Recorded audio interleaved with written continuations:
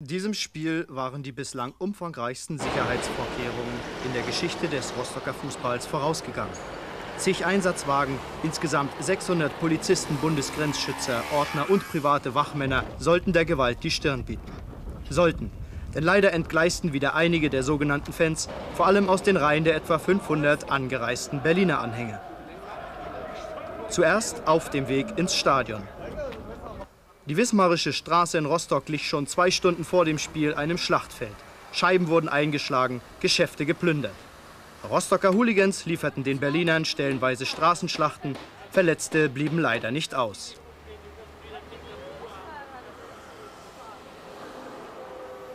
Die blinde Gewalt setzte sich im Stadion fort.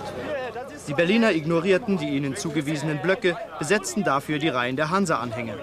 Dabei kam es zu Schlägereien, selbst Kinder wurden verletzt.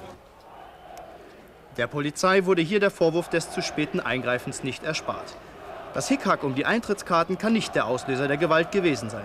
Wie gewisse Boulevardblätter heute berichteten, sollten die Berliner teure Karten mit veränderten Aufdruck bekommen. Aber Hansa hatte die Preise generell erhöht, also mussten alle, ob Berliner oder Rostocker, tiefer in die Tasche greifen. Hoffen wir, dass die Rostocker Bürger heute Abend keine Angst mehr haben müssen. Die Polizei indes befürchtet noch eine zweite Welle der Gewalt. Hier die Berliner Fans noch Minuten nach dem Spiel.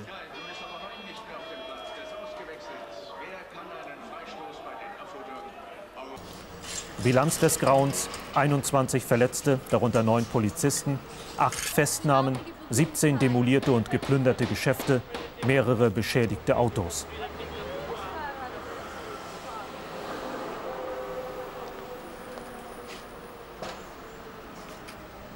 Manch einer stand fassungslos vor einem Trümmerhaufen.